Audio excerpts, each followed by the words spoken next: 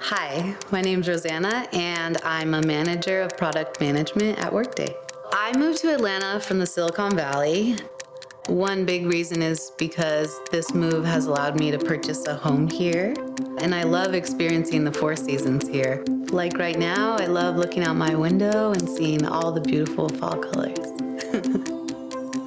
Cost of living here in Atlanta is so much better, and life is just better. Before Workday, I worked in higher education as a financial aid practitioner for about 10 years. You know, working in financial aid, you end up working with a lot of clunky legacy student information systems. So when I was presented with this opportunity, I thought, uh, heck yeah.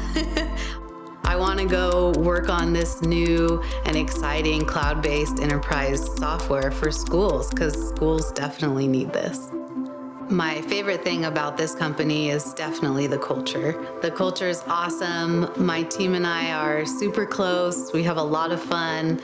It's so enjoyable just to go into work every day. There's definitely a reason why Workday keeps showing up as one of the best places to work.